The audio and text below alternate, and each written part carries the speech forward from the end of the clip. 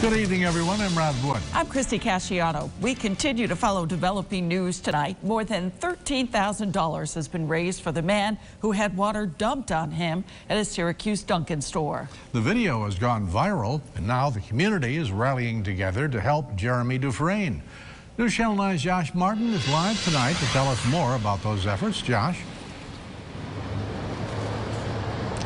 The community has just been so generous in helping Jeremy Dufresne. I talked to the person who's organizing the GoFundMe. The goal was just $150, trying to get him some new clothes or some help in that way. But now that the money is so large, over $13,000, getting the money to Jeremy may be a little complicated. The goal was only $150, but now more than $13,000 has been raised for Jeremy Dufresne.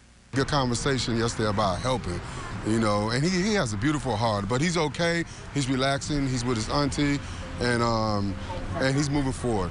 That money will go directly to Dufresne, who is homeless and who has disabilities. But it's how that money will be handed off that presents a challenge to those behind the effort to keep Dufresne in recovery.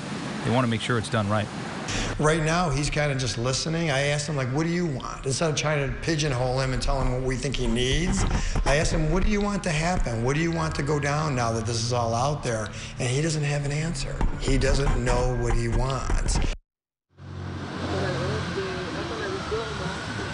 We know Dufresne met with Syracuse police earlier this afternoon to discuss possible charges against the Dunkin' Donuts employees. Those close to him say he's been staying with family. He'll be meeting with community advocates later this week.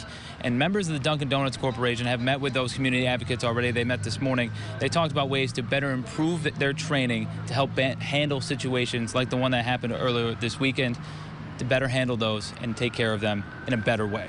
Live in Syracuse, Josh Martin, News Channel 9. Josh.